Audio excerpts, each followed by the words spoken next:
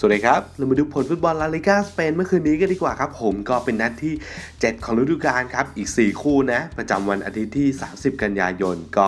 เริ่มต้นด้วยเวสกาครับ เปิดบ้านเสมอกับจิโรนาไป1ประตูหนึ่งเบียริวก็แพ้เลอัลปยาดูลิดคาบ้านเลย0ประตูหนึ่งเลวันเต้ครับ เอาชนะเดปติวอาราเบสไปได้ 2 ประตูหนึ่งแล้วก็ปิดท้ายด้วยลิเบติสเอาชนะเลกาเนสไป 1 ประตูศูนย์ เดี๋ยวเราไปอัปเดตตามคะแนนล่าสุดกันเลยดีกว่าครับว่าเป็นยังไงบ้าง มาเริ่มกันที่ครึ่งตารางบนครับ ตอนนี้จ่าฝูงเป็นบาร์เซโลนาครับ 7 นัดเก็บไป 14 คะแนน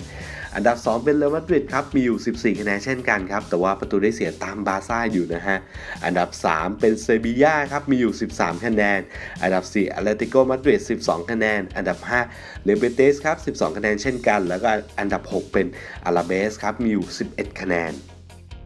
มาต่อกันที่ครึ่งตารางล่างครับ มาดูกันที่ 3 อันดับสุดท้ายเลยดีกว่า อันดับที่ 18 ตอนนี้เป็นราโยบาเยกาโนครับ มีอยู่ 5 คะแนน อันดับ 19 เวสกาครับ 5 คะแนนเช่นกัน แล้วก็อันดับที่ 20 เลกาเนสครับ 7 นัดเก็บไปได้แค่ 4 คะแนนเท่านั้นเอง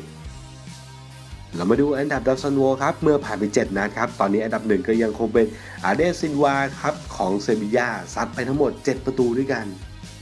โดยที่โปรแกรมลาลิกาสเปนในนัดที่ 7 ยังเหลืออีกหนึ่งคู่ครับ Monday Night เซลตาบิโกจะพบกับเกตาเฟ่นะฮะตอนตี2นั่นเอง แล้วก็มาปิดท้ายกันที่โปรแกรมลาลิกาสเปนครับในนัดถัดไปนัดที่ 8 ของฤดูกาลในสุดสัปดาห์หน้า ก็เริ่มต้นกันที่เสาร์6ตุลาครับแอตเลติกบิลบาเปิดบ้านเจอกับเรอัลโซเซียดัดจิโรนาเจอกับเออิบา เกตาเฟ่จะพบกับทางเลบันเต้เดปอร์ติโบอลาเบสจะเจอกับเรอัลมาดริดแล้วก็เลกาเนสจะพบกับราโยบาเยกาโนต่อกันที่วันอาทิตย์ที่ 7 ตุลาคมครับ